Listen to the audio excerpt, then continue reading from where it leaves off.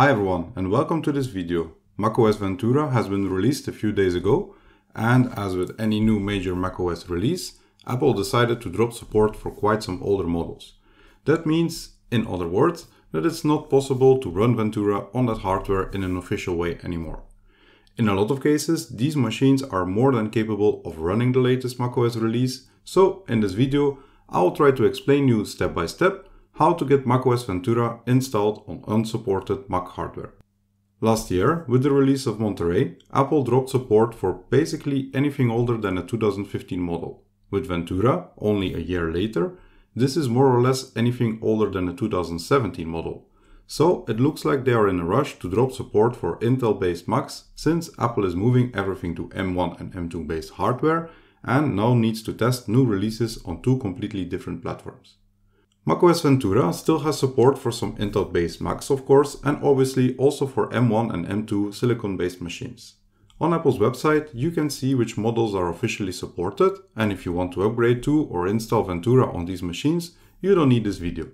In any other case, keep watching if you'd like to upgrade to or to do a fresh install of macOS Ventura. The method I will be using to accomplish this involves using OpenCore Legacy Patcher.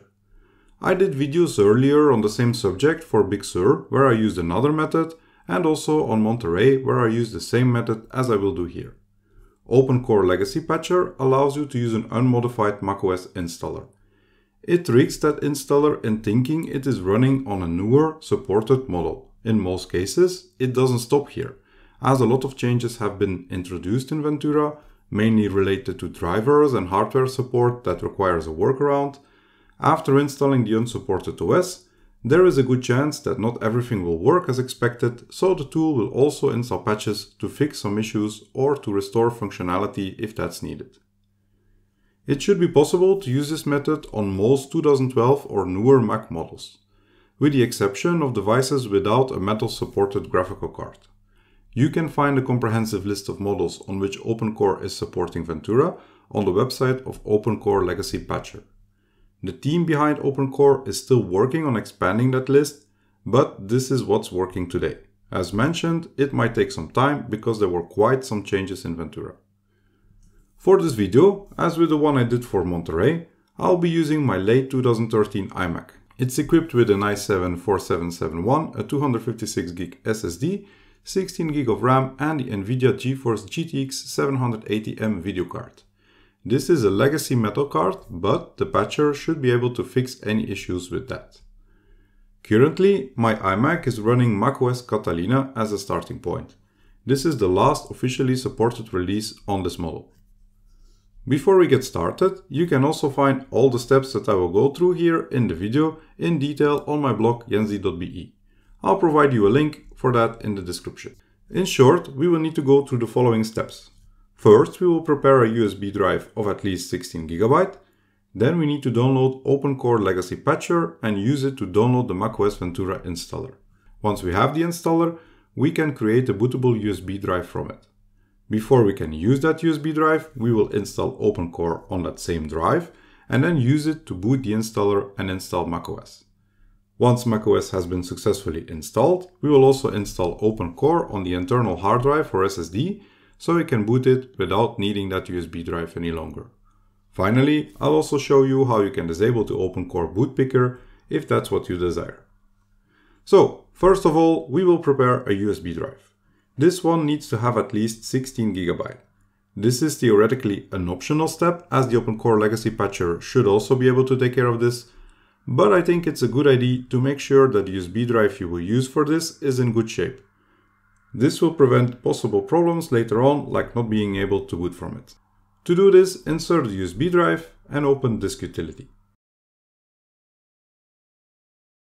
In Disk Utility, click to show all devices. Then in the left column, select your USB drive and click on Erase in the top menu. Now give the drive a name. I chose Ventura Install as you can see select macOS Extended and GUID as partitioning scheme. Then click Erase.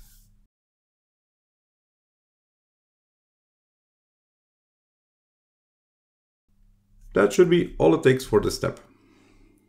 Next, we need to download OpenCore Legacy Patcher, which will be what we use to create a bootable USB drive with the installer.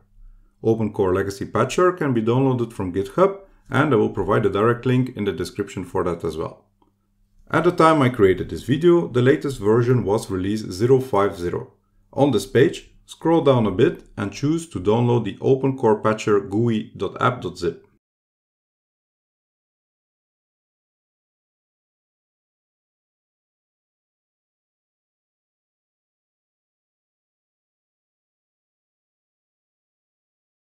Once downloaded, the package is extracted. If it's not, you can double click on it in your downloads folder and then we can launch opencorepatcher.app.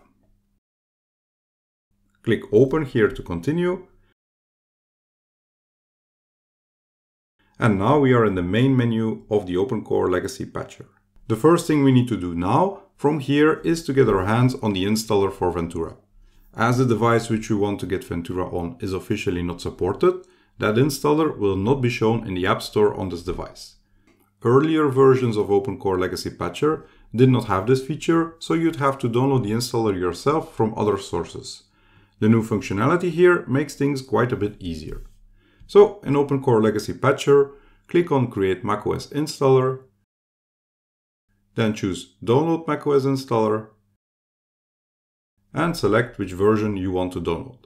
Since our goal is to install Ventura, choose here for macOS 13. Once you made your selection, the tool will download that actual installer, which is about 12 to 13 GB in size, so this can take quite some time.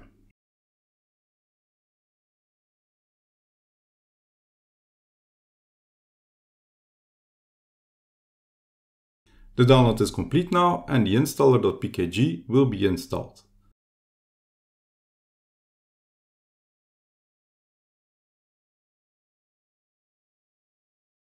That's done, so at this point the installer is installed as an application in your application folder in Finder. Running it from here doesn't allow you to continue unfortunately. Instead, we need to use OpenCore Legacy Patcher once again to use that installer to create a bootable USB drive. You can do this by either clicking directly on Flash Installer after the download completed or by going through the menu again and navigate to create macOS installer, use existing macOS installer, install macOS Ventura. In the Format USB screen, select the drive which you prepared in the first step. And once again, you'll be tested for patience. Again, about 12 GB of data needs to be written to your USB drive.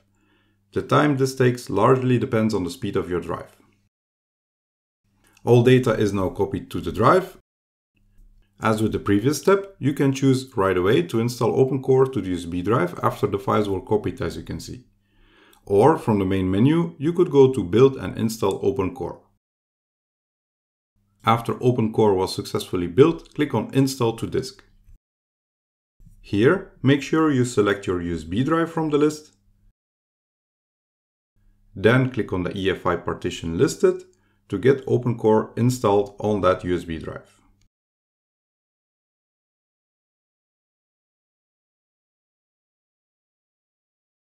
You get the option to reboot right away to start the installer.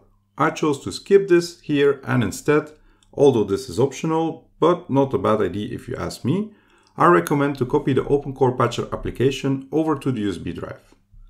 Simply open the USB drive in Finder and copy the application from your Downloads folder to the drive.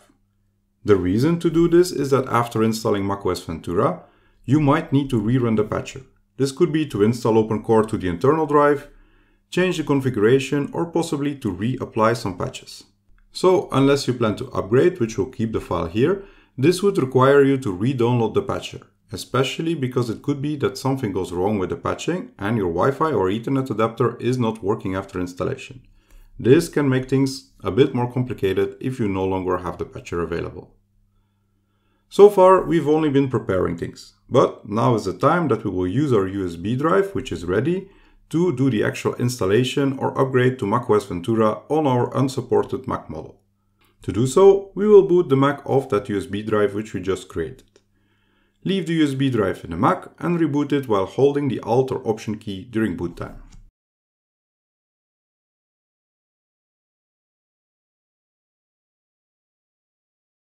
If all goes well, holding down the Option key brings up the bootloader. In there, you should see the currently installed system, named SSD in my case, an entry to install macOS Ventura, and an EFI boot entry with the OpenCore logo. The last two are on the USB drive. From here, which is a standard bootloader, we can't start the installation directly, as we need to do this from OpenCore to hide the real system identifier. Instead, select the most right entry, EFI boot, using the arrow keys and then press enter. This brings you in OpenCore, started from the USB drive. This looks very similar to the standard bootloader, the only real difference is that there is a text on the right bottom corner. From here, you can now choose the Install macOS Ventura option. This will launch the installer from the USB drive. This usually takes some time.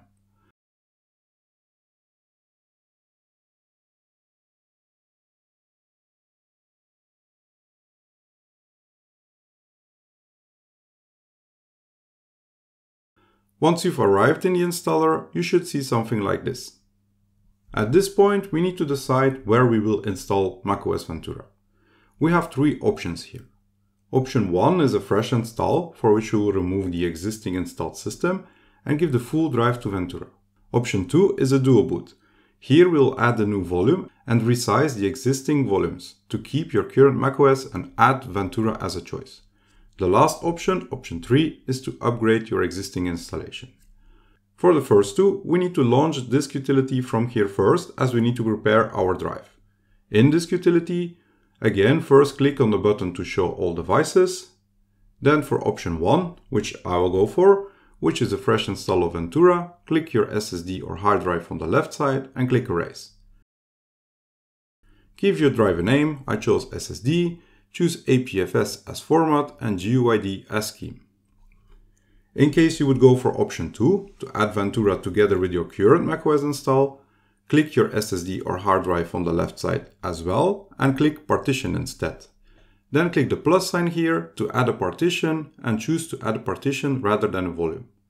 You can change the size on the left side, name the volume and choose APFS as format.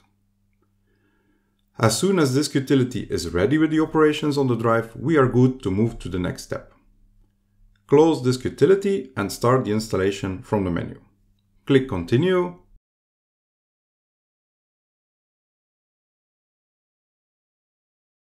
Accept the license agreement and select the volume on which you want to install Ventura.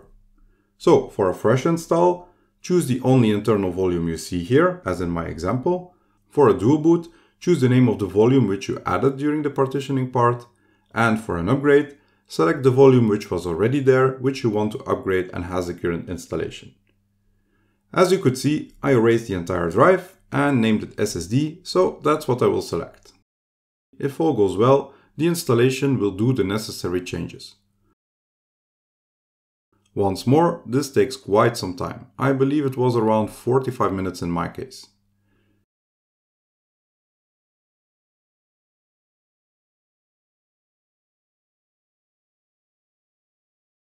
If all goes well, you should end up with the wizard for a new installation or login screen in case you performed an upgrade.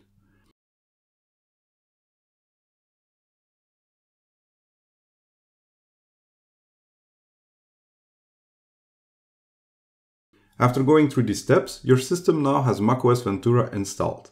Any required patches are already installed automatically. We can easily check this from OpenCore Legacy Patcher. The last step which we need to go through is to install OpenCore on the internal hard drive for SSD. So far, we've successfully installed Ventura on our Mac, but to start it, we still need to boot from the USB drive, as that is where OpenCore is currently installed. In order to get this fixed, we need to install OpenCore to the internal drive instead. This goes in the same way as we did before for that USB drive. In most cases, when Ventura is started the first time, the patcher will actually detect this situation and will ask you already to go through this step. You can click OK here or start the patcher which we copied to the USB drive and choose Build and install OpenCore, Build OpenCore and then click on Install to Disk. Here, make sure you select your SSD or hard drive from the list instead. Then click on the EFI partition listed here to get OpenCore installed on the internal drive.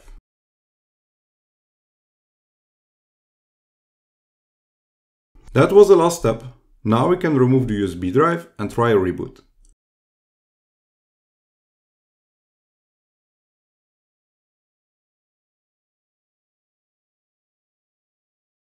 This should boot to OpenCore, which will load macOS Ventura on your unsupported Mac.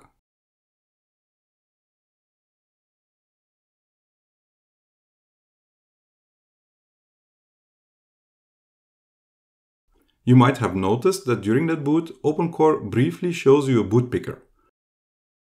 Some people might not like the delay this causes, and in order to get rid of it, you can reinstall OpenCore to the internal drive without this option enabled. So in order to do so, launch OpenCore Legacy Patcher from the USB drive or you can just re-download it. Then navigate to settings. In there, uncheck the show boot picker option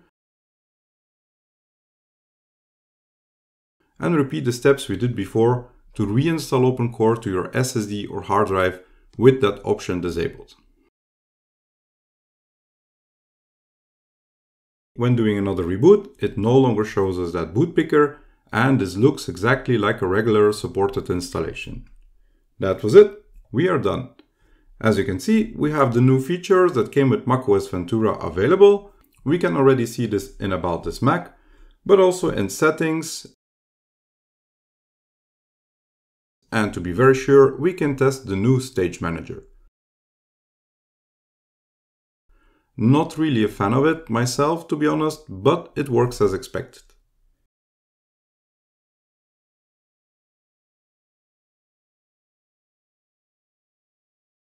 Thanks a lot for watching. I hope this helps to extend the life of your Apple Mac.